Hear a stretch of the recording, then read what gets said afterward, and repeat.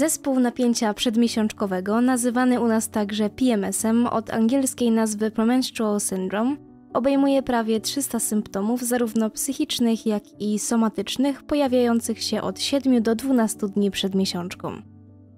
PMS oddziałuje na ciało, zachowanie i emocje wszystkich kobiet, choć dzieje się to w różnym stopniu. Do najpowszechniejszych należą rozdrażnienie, nieuzasadniony gniew, agresja, drażliwość, smutek, stany depresyjne, płaczliwość, spadek samooceny, nadwrażliwość piersi, uczucie zatrzymania wody w organizmie, problemy jelitowe, wykwity skórne, bóle stawów, bóle głowy, zmęczenie i dodatkowo 285 innych możliwości. Repertuar objawów PMS nie jest stały, zestaw może się zmieniać co miesiąc, a zmienne jest także nasilenie poszczególnych symptomów.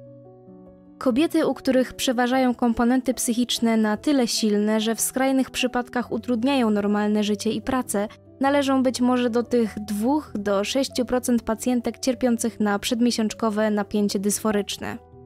Dysforię określa się jako przeciwieństwo euforii, jednak dla kobiet wiedzących o czym mowa brzmi to jak cyniczny żart. W przypadku uciążliwych objawów PMS czy zaburzeń miesiączkowania należy wykonać pakiet badań gospodarki hormonalnej. Pamiętajcie o tym. Cykl menstruacyjny zależny jest od stężenia hormonów płciowych i związanej z nimi osi podwzgórze przysadka jajniki. Dzieli się on na cztery fazy.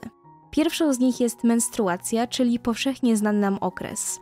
W momencie, kiedy rozpoczyna się krwawienie, dochodzi do spadku stężenia wszystkich hormonów płciowych. Następnie rozpoczyna się faza folikularna, podczas której powoli wzrasta stężenie estrogenów, by w dniu owulacji osiągnąć poziom kulminacyjny. Wówczas zauważamy także wysokie stężenie dwóch innych hormonów. Są to hormon luteinizujący LH i hormon folikulotropowy FSH. W fazie lutealnej ich stężenie, podobnie jak poziom estrogenów, nagle maleje na korzyść progesteronu. Większość osób w PMS wymienia nieprzyjemne dolegliwości, nie tylko somatyczne, ale również te psychiczne, takie jak obniżony nastrój, brak motywacji do działania i spadek koncentracji. Zmiany hormonalne związane z miesiączką oddziałują bowiem na produkcję serotoniny. Dla przypomnienia, serotonina to tak zwany hormon szczęścia, a jej synteza wpływa na poprawę nastroju. W fazie folikularnej zauważa się wzrost wrażliwości receptorów na serotoninę w organizmie, a więc odczuwamy większą radość, mamy więcej energii i motywacji do podejmowania wyzwań. W fazie lutealnej wychwyt serotoniny przez komórki jest mniejszy, a u osób zmagających się z zespołem napięcia przedmiesiączkowego dodatkowo odnotowuje się spadek stężenia serotoniny we krwi. Stąd też wahania nastroju i większe odczuwanie smutku przed okresem. Właściwa dieta ma wpływ na poprawę samopoczucia i zmniejszenie objawów w czasie PMS, co potwierdza już medycyna ogólna. Dieta taka powinna być lekkostrawna ze względu na występujące w jego trakcie wzdęcia i bogata w nienasycone kwasy tłuszczowe. Powinna dostarczać niezbędne aminokwasy, witaminy i składniki mineralne, a także dawać na kilka godzin uczucie sytości, aby zapobiegać ciągłemu podjadaniu, co może wpływać na przyrost masy ciała. Celu zminimalizowania i łagodzenia objawów pogarszających jakość życia kobiety, coraz częściej stosuje się środki farmakologiczne, metody relaksacyjne, a także niefarmakologiczne sposoby, w tym odpowiednią dietoterapię.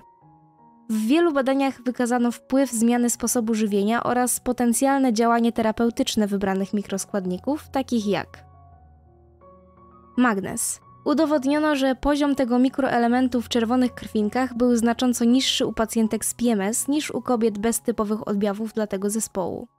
Warto wzbogacać dietę w takie produkty jak kasza gryczana, pestki dyni czy gorzka czekolada, aby nie doprowadzić do znaczących niedoborów magnezu w organizmie. Niedobór magnezu objawiać się może nadmierną kurczliwością mięśni gładkich, przez co możesz odczuwać większe napięcie mięśniówki macicy przed okresem. Osoba z niedoborem magnezu odczuwać będzie również większe zmęczenie, brak energii, problemy ze snem, spadki nastroju, trudności w skupieniu i koncentracji oraz nadmierną drażliwość. Potas należy do głównych elektrolitów ludzkiego ciała porównaniu do sodu nie jest on magazynowany w organizmie w dużych ilościach, lecz wydalany z moczem.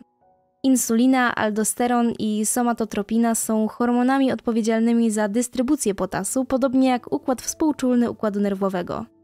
Z tego powodu osoby z PMS i dodatkowo żyjące w ciągłym stresie, chorujące na cukrzycę, nadciśnienie tętnicze czy nadczynność kory nadnerczy powinny skonsultować się z dietetykiem w celu włączenia potasu do planu suplementacji. Żelazo i witamina C. Żelazo z pożywienia możemy pozyskiwać w dwóch postaciach: żelaza chemowego i niechemowego. Źródła żelaza dzieli się na zwierzęce, takie jak jaja, mięso, podroby i roślinne, czyli np. kasza gryczana. Przyswajalność żelaza zwiększy się, gdy dba się o prawidłowy poziom witaminy C pochodzącej z warzyw i owoców. Znaczną utratę żelaza odnotowuje się u osób miesiączkujących, u których występuje intensywne krwawienie. Witamina D.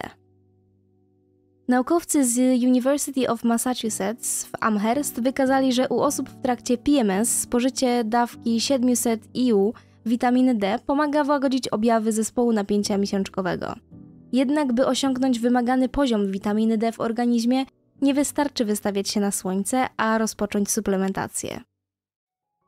Witamina E. Przypadku niedoborów tejże witaminy w organizmie zwiększa się ryzyko wystąpienia infekcji i zmniejsza się efektywność niwelowania stanów zapalnych. Witamina E może mieć wpływ na poprawę samopoczucia przy PMS, ponieważ bierze udział w transporcie tlenu do wszystkich komórek ciała i poprawia działanie układu krwionośnego. Wpływa również na kurczliwość mięśni gładkich. Kwasy tłuszczowe. Nienasycone kwasy tłuszczowe, a szczególnie kwas gamma-linolenowy, mogą pozytywnie wpływać na objawy napięcia przedmiesiączkowego, poprawiając samopoczucie kobiety. Podkreśla się zwłaszcza właściwości oleju z wiesiołka, który zawiera te niezbędne dla organizmu kwasy w stosunkowo dużej ilości. Omega-3. Jego znaczenie rośnie u osób, które nie spożywają regularnie tłustych ryb. Dobrymi suplementami pomocnymi w łagodzeniu objawów PMS są wszelkiego rodzaju zioła mające właściwości uspokajające i tonizujące układ nerwowy. Są to na przykład melisa, ashwagandha, różeniec górski, miłożąb oraz dziurawiec.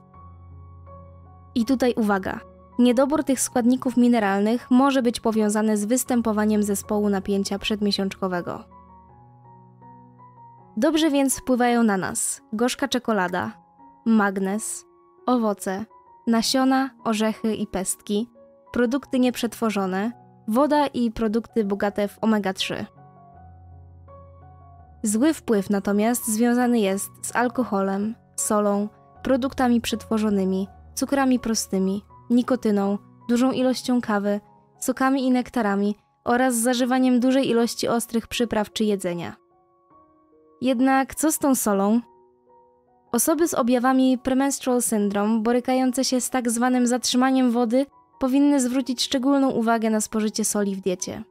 Dieta bogata w sól uważana jest za jeden z czynników powstawania patofizjologii niektórych narządów. Pamiętać jednak trzeba, że sód wchodzi w skład gospodarki elektrolitowej organizmu i stanowi jeden z najważniejszych składników organizmu człowieka, niezbędny do jego prawidłowego funkcjonowania. Niedobór sodu i pozostałych elektrolitów może mieć negatywny wpływ na samopoczucie, chociażby na pracę układu nerwowego, stąd często przy odwodnieniu można zauważyć ból głowy i problemy ze skupieniem uwagi oraz metabolizm komórek. Prawidłową dzienną podaż poszczególnych składników mineralnych, w tym sodu, powinien ustalić dietetyk kliniczny lub lekarz po analizie wyników badań laboratoryjnych i szczegółowym wywiadzie zdrowotnym. Podsumowując, PMS to dość częsta przypadłość wśród kobiet, jednak nie jest to choroba lub stan psychiczny, a manifestacja deficytów odżywczych. To sygnał, że w organizmie nie ma równowagi. Jeśli w diecie kobiety brakuje wapnia i witaminy D, hormony regulujące wapń reagują negatywnie z estrogenem i progesteronem, co wywołuje objawy PMS. Wszystkie odkrycia największych narodowych instytutów zdrowia dowodzą, że objawy PMS są sygnałem niedoborów wapnia i witaminy D. Na sam koniec należy zadbać o całokształt diety, aby opierała się ona na pełnowartościowych i nieprzetworzonych produktach. Po wprowadzeniu tych zasad PMS nie będzie tak straszny jak do tej pory. Widzimy więc, że dieta w przypadku zespołu napięcia przedmiesiączkowego ma ogromne znaczenie w eliminacji lub zmniejszaniu odczuwania jego nieprzyjemnych objawów. PMS dotyka ogromną liczbę osób na świecie, ale wierz mi, da się z nim walczyć. Tymczasem ja się z Wami żegnam. Jeśli chcecie docenić moją pracę, pamiętajcie o ocenieniu tego filmu i o podzieleniu się tym materiałem ze znajomymi. Do usłyszenia, cześć.